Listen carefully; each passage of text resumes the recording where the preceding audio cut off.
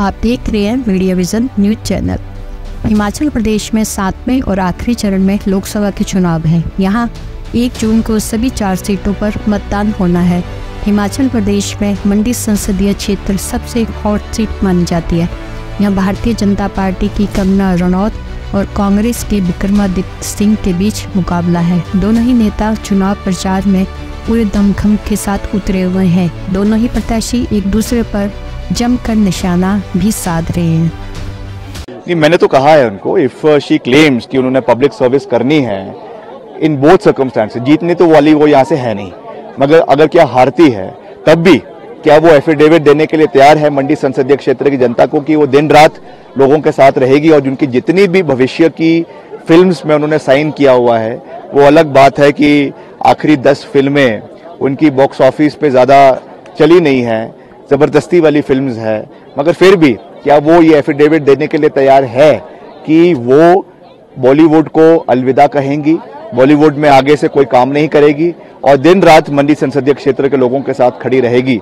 ये देखना दिलचस्प होगा। और मंडी संसदीय क्षेत्र की जनता भी ये उनसे पूछ रही है कि क्या वो अपने बॉलीवुड करियर को मंडी संसदीय क्षेत्र के लिए त्यागेगी या नहीं। लगातार जिस तरीके की वो टिका टिप्पणी कर रही है, वो मैं उसका तो सोचता हूँ कि उसके बारे में बात कर कर भी या उसका रिप्लाई कर कर भी हम उनको सम्मानित नहीं करना चाहते हैं। जिस स्तर पे वो आ चुकी हैं, वो उनकी जो अंडरस्टैंडिंग है, जो उनकी संस्कार है, जो उनकी एजुकेशनल क्वालिफिकेशंस है, जो उनका एक सोच प्रदेश के लोगों के प्रति है और जो उनके कारनामे बॉलीवुड में हैं, हम तो उसके बारे में कोई बात कर नहीं रहे मगर जिस तरीके से वो टिका टिप्पणी करती जा रही हैं ये प्रदेश की जनता देख रही है, प्रदेश की जनता बहुत पढ़ी लिखी है, समझदार है, और वो इसका जवाब एक जून को मैडम को दे देंगे। नेचुरली एक, हर चीज़ें अपना एक आई थिंक रास्ता अपने आप खोज लेती हैं। अगर लोगों ने मुझे जिम्मेदारियाँ दी और मुझे और जिम्मेदारियाँ मिली अगर केंद्र से तो जो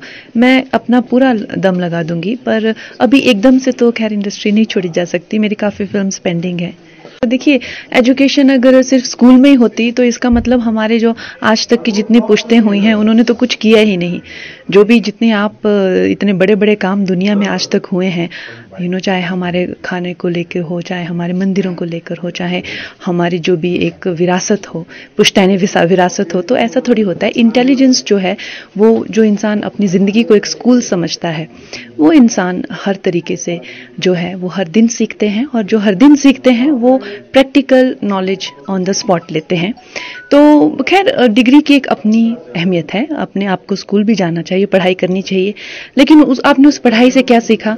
वो तो समझ ही आ रहा है कि उन्होंने कुछ ज़्यादा खास तो सीखा नहीं उन पढ़ाई से, क्योंकि आज तक जो है उनका जो नाम है अपने पिताजी के ही जो विरासत है, राजनीतिक विरासत, उसके ही करके हुआ है।